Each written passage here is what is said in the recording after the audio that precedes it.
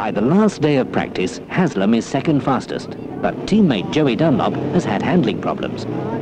The Honda mechanics continue to make critical adjustments to wring every last drop of speed out of Haslam's bike, as Grant and his Suzuki lead in practice with a Formula One lap record of 114 miles an hour.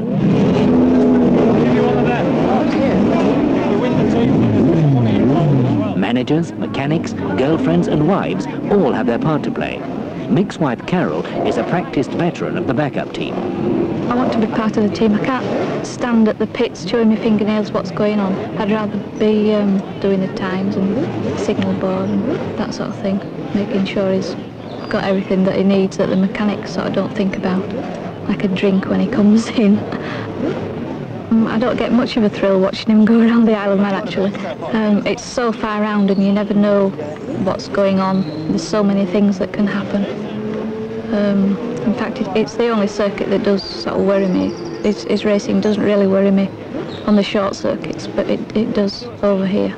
I met her after we started racing, so she's really not known anything different. She does get worried about the Isle of Man. I think possibly the only circuit really she does worry about. Um, it must be terrible for people watching, you know, the, the sort of, there's 20 minutes before the, you're around again. And very often if you do stop for a mechanical failure even, it could be another half hour after that before the people in the pits know what's happened. And of course the mind run wild. Tension mounts in the Suzuki camp. Roger Marshall is late returning from a practice lap, the first hint of a near disaster.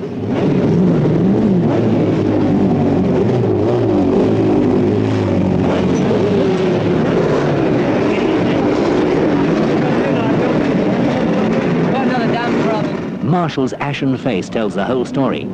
He has seen the fangs of the TT course and lived to tell the tale. When something like that happens, it's very, very frightening. The fairing was jammed against front wheel, so it left a groove in the front tyre and uh, gave me a bit of a heart attack, basically. Mick had an earlier thing in the week with these new type fairings where they're a bit lightweight and it just pulled through the bobbins.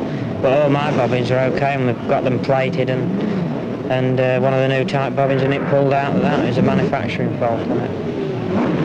I hit the bank on the right side with my shoulder and I'd never even eased up, I couldn't turn the bike, I was all locked up. The fairing had locked on the front wheel and the next thing I hit the bank on the right, it bounced me off, I was just getting ready to go over the front of the handlebars, hit the curb on the left and then, then, the, then I went smashed with my hand as hard as I could and forced the steering to the left and got through the first left hand Was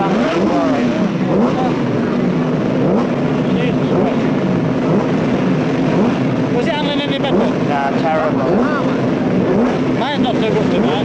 No, I'm going back to how I had it real hard when I did 112. Not handling good like that? No, awful.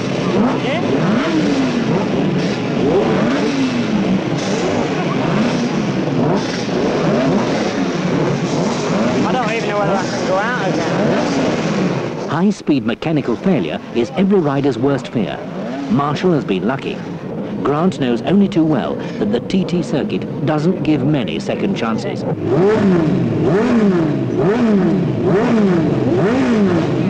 Despite his fears, Marshall knows he must go out again. Race day is tomorrow, and he has to regain his confidence in both his machine and himself. Back in the saddle, and confidence is restored. Only an hour later, Roger is back to his normal self. I won't say I've had a lot of salads this week, but... Thoughts of tomorrow's race are put aside, and the family spirit of the team is evident as they relax in an atmosphere of jokes and laughter. Uh, Oh, I was wanting to be a film star. No, no problem. Say I look like David Essex. come on, come on.